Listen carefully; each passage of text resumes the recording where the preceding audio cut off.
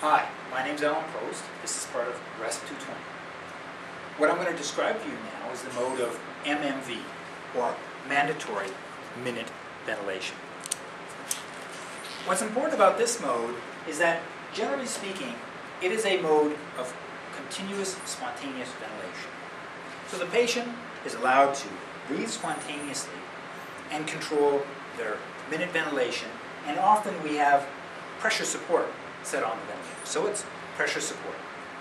The difference being in this mode is that if the patient, for some reason, because of maybe they've lost neural control of ventilation and have gone unconscious, or they may have been heavily sedated, and their ventilatory requirements change. In other words, they're not spontaneously breathing anymore. This mode will kick in and take over ventilation for the patient. So it'll switch from, say, continuous spontaneous ventilation to a CMV mode, where, or a, actually it would be better terminology, IMV mode, where the ventilator will establish the minimum ventilatory requirements. Should the patient wake up or regain consciousness and start to rebreathe again and take over their breathing, once again, the ventilator would switch back to a continuous spontaneous mode of ventilation. So CSV, continuous spontaneous ventilation.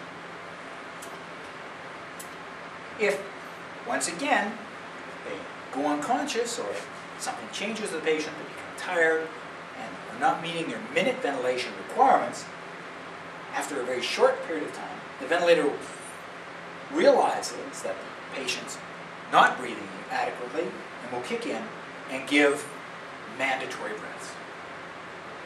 So this mode is a unique mode in that it combines some safety features into it without causing alarms. You can set up a minimum amount of ventilation for your patient, thus the term mandatory minute ventilation. Now, in this case, I've got a tidal volume of 600 by a rate of 10, so 6 liters per minute. If at any time the patient breathes less than that, the ventilator will kick in and augment their inspiratory effort or totally take over and give mandatory breaths to ensure that minimum minute ventilation is achieved. If the patient is spontaneously breathing and does not require any assistance, the ventilator will ignore the mandatory settings as long as the patient is spontaneously breathing. So to many people, this is considered a safety mode, and an example of how this might be used is in, uh, say, a post-op recovery, where patients come out unconscious, so they can be placed on the MV, MMV with minimal settings, and as they regain consciousness and start breathing spontaneously on their own, maybe with the addition of a small amount of pressure support to augment their inspiratory efforts, the mode would actually switch from a CMV or an IMV mode to a continuous spontaneous mode of ventilation. So let's take a look at those settings. So once again, we have the Avita ventilator, but this time we're in the mode of MMV. The basic settings on this are you establish a tidal volume, a TI, and a flow uh, frequency or rate. You've got this ramp, which we'll talk about sometime when we're learning more details about the Avita ventilator, and your PEEP, your PEEP level and your level of pressure support. Now at this time, we've got established that the combination of a tidal volume of 600 by a rate of 10 would give us a minute ventilation of about 6 liters. So as long as our patient is breathing below that, the ventilator will kick in and give mandatory breaths to ensure the patient receives that 6 liters of minute ventilation. Now what I'm going to do is I'm going to start the patient to spontaneously breathe. So we're getting our small level of pressure support, and those little spikes now are the patient's own spontaneous respiratory efforts. AMI takes long, deep, full breaths, followed by a few short breaths.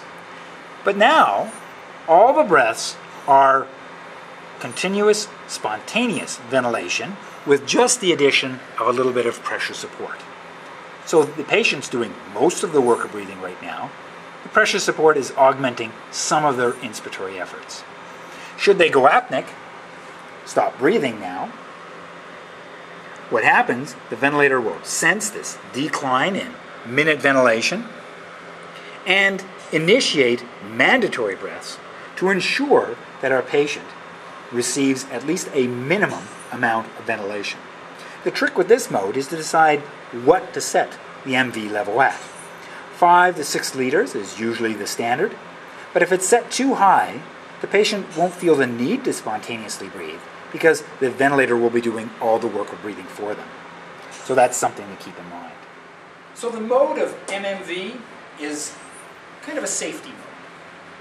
The target or the goal of this mode of ventilation is to have the patient spontaneously breathing.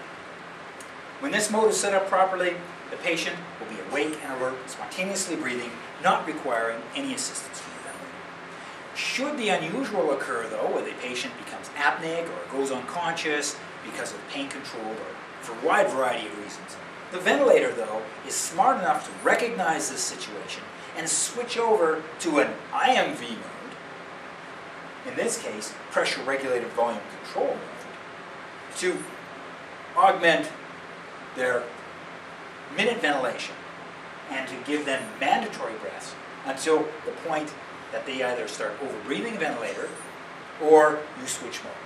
You'll notice no alarms occur when this, when this action occurs. And that's because it's designed into this mode of ventilation. You've got backup safety alarms to make sure that if the patient was overbreathing something doesn't occur, it will alarm.